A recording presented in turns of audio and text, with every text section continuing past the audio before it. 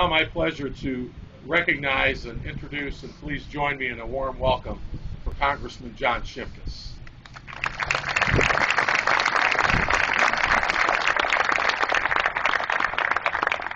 Doug and Jill, thanks for having me here today. Um, been thinking, oh, why do we have memorials? We have memorials so we, we don't forget. We also have memorials to tell a story.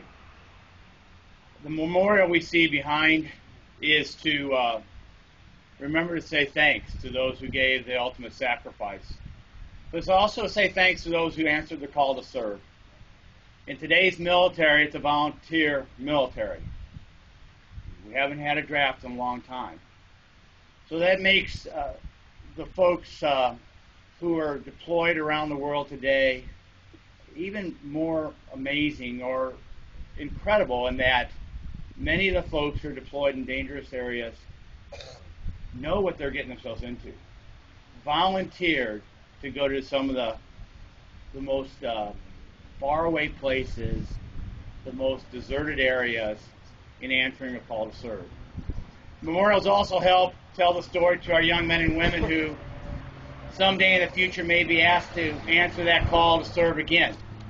So when we have all the great uh, programs that we do in this facility down here in the park, this memorial will stand, and our young men and women will will be able to look at it and and see the sacrifice that we have done.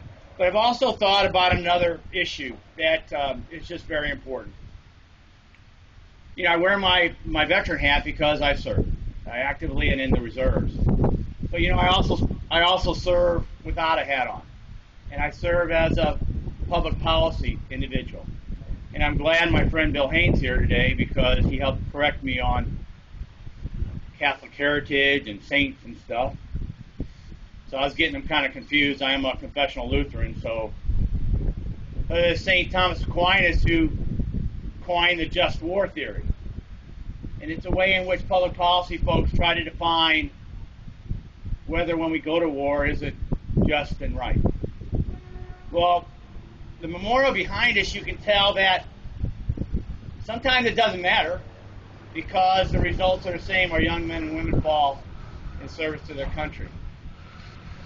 But the memorial will also stand for those of us who are public policy makers, decision makers, that cast votes on war, who spend the money to go to war, and whether that war is just or right.